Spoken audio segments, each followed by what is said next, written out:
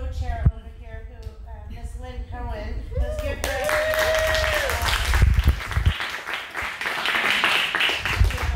neck and neck. Um, when I asked her if um, she would be willing to um, chair uh, this year um, uh, with me and, and to do this, uh, and the hesitance that came over, but then she stepped right up and said yes. And when we were here at midnight last night together, um, you know, it, it, it, it's definitely thank you very much.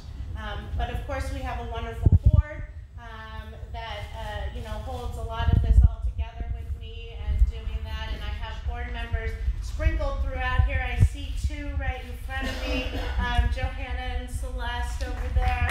Um, and, and I know my husband, uh, who I couldn't do this without, he's, he's working hard already behind the booth there doing his thing, Scott Strand.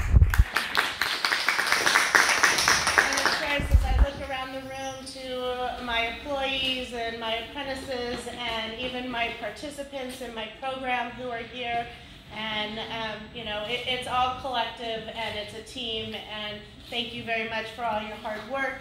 And um, please, everybody, enjoy. You know, the community who has come out and who is here.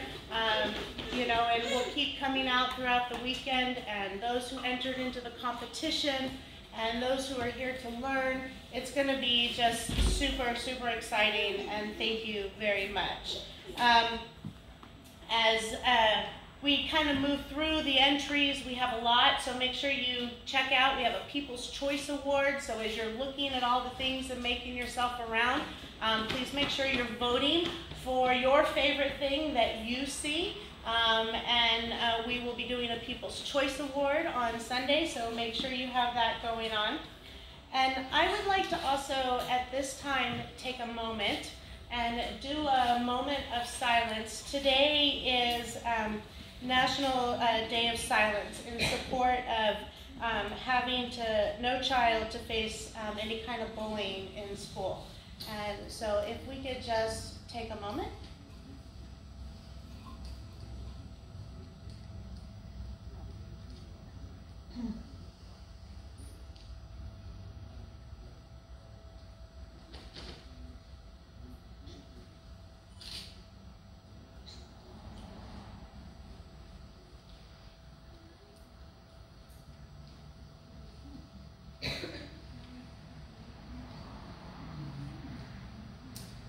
Thank you.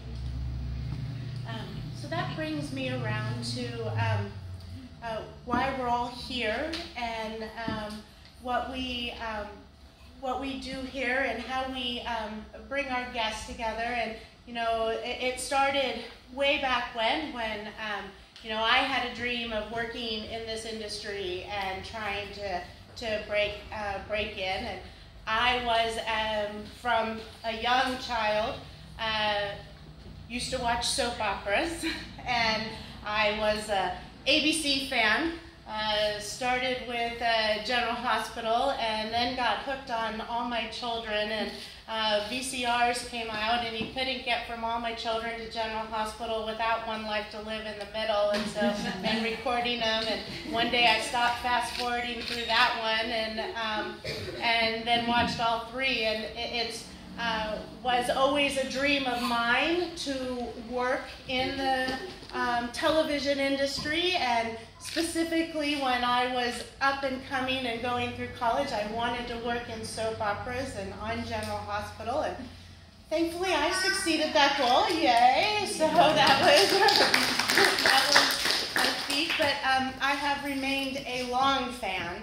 And uh, when we were talking about um, guest hosts um, and keynote speakers for this, um, I started thinking about who I knew and those kinds of things and who could be a, a good keynote to lead off our event. And Year of the Woman and all of those things. And uh, a year ago, I connected with our keynote speaker um, through social media, um, supporting her efforts in what she does in her career in the arts and producing and directing. And so we tweeted back out to her and um, and you know and, and here she is. So not only is um, this bringing personal um, gratification to me, as well as I think it's such a phenomenal thing for us to have such a caliber of talent um, here at our studio for our third year, as we are in our third year of DigiFest and growing it and doing what we're doing. So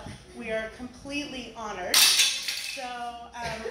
Going to now transition as I introduce, and I don't have my glasses on me, but um, as I introduce our wonderful keynote speaker, uh, Miss uh, Katie McLean, and she is, okay, so I'm gonna have to hold this down there. She has worked extensively for 30 years as an actor in film, television, and theater.